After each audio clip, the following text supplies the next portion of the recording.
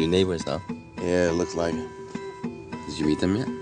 Uh, you want to give people a chance to settle in, you know? I always wanted to say this. We're homeowners.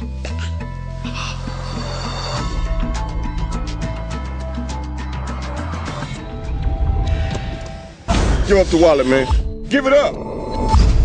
Welcome to the neighborhood. What?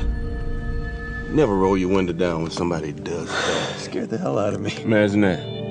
I met our new neighbor, Abel Turner. And? He has a very special brand of humor.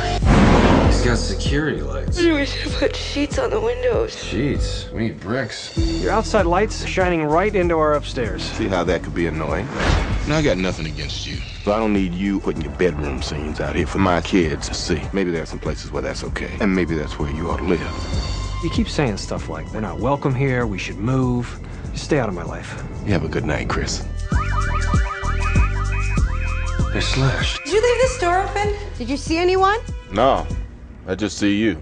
The man never made an actual threat against your life, and he has the color issue on his side. And that color happens to be blue. Yeah!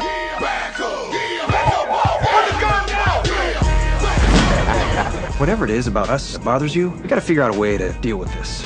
Or what? I got lights. Okay. Now's the time to get out. They'll be gone before you know it. the hell are you doing? You didn't ask my permission to plant these trees. Come on over. Let's do something. Get off my property. Won't call the cops. I'll tell you who's on duty. We're not moving. Says who?